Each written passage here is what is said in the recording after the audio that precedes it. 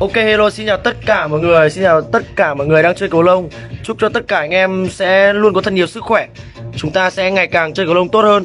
Ok và hôm nay cô học xin giới thiệu cho tất cả anh em chơi cầu lông Trên à, đất nước Việt Nam này Một sản phẩm vô cùng đặc biệt. Đó là sản phẩm bóng tập cổ tay Công nghệ mới nhất, hiện đại mới nhất hiện nay. Với tính năng sẽ giúp chúng ta sẽ có một tập để giúp chúng ta có một cổ tay chắc khỏe. Những ai đang ve cầu non những ai đang đập cầu nhẹ, những ai đang phông cầu non, cổ tay bị yếu, chúng ta chắc chắn phải biết đến sản phẩm bóng tập cổ tay. Và học sẽ hướng dẫn mọi người tập của bóng tập cổ tay. Thì chúng ta sẽ có một cái dây ở đây, chúng ta sẽ đeo vào cổ tay. Cái dây này sẽ giúp chúng ta đỡ bị rơi bóng. Chắc ta... mọi người có nhìn thấy cái mũi tên mũi tên ở giữa đây không ạ? Chúng ta sẽ đẩy, chúng ta sẽ dùng hai ngón tay cái, chúng ta sẽ đẩy lên.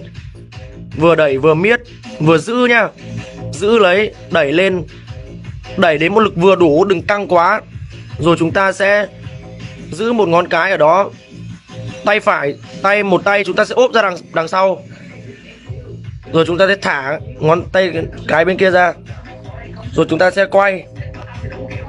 Các bạn lưu ý là khi mới khởi động bóng, bên trong của bóng của bóng bay, quay rất chi là chậm. Nên là cái lực tay của chúng ta quay đầu tiên cũng rất là chậm thôi. Chúng ta phải cảm nhận đồng đều cái bên lực, bên trong của bóng với cái lực cổ tay của chúng ta làm sao cho nó hài hòa nhất. Rồi chúng ta, khi chúng ta quay được rồi, chúng ta mới tăng tốc độ lên dần. Chứ chúng ta đừng quay nhanh luôn. Chúng ta cặp cổ tay như này. Và nhớ là bóng là bóng phát sáng, rất chi là gọn nhẹ luôn. Có thể mang đi mọi lúc, mọi nơi. Thay vì việc phải tập gym, tập tạ, tốn thời gian nặng nề, chúng ta chỉ cần ngồi nhà, ngồi chơi, đi ăn, đi chơi, đi mọi lúc, mọi nơi để chúng ta có thể, vẫn, chúng ta vẫn có thể tập được. Và chúng ta sẽ tập cổ tay như thế này mỗi ngày chỉ cần tập từ 5 đến 10 phút. Và mọi người lưu ý là khi chúng ta quay nhanh, chúng ta đang tập nhanh như này, chúng ta có thể đổi chiều nhá. Và khi chúng ta quay bên phải như thế này sẽ giúp chúng ta, mọi người nhìn thấy cơ chưa, cơ tay chưa? Cái cơ tay nó đang hoạt động chưa? Khi chúng ta quay theo chiều kim đồng hồ thì nó sẽ giúp những pha hất cầu, những pha cầu thuận tay của mọi người nó mạnh hơn. Và khi mọi người đổi chiều, nó sẽ giúp những pha ve cầu cũng như black hand của mọi người mạnh hơn nó rất chi là gọn nhẹ và tập vô cùng vô cùng hiệu quả. Nhưng ai mà tay đang yếu những ai mà tay đang bị yếu đang đánh cầu dù là lớn hay là già dù là thanh niên hay là trẻ con thì chúng ta đều có thể sử dụng được hết. Nên là mọi người mọi người cần phải biết đến nhá.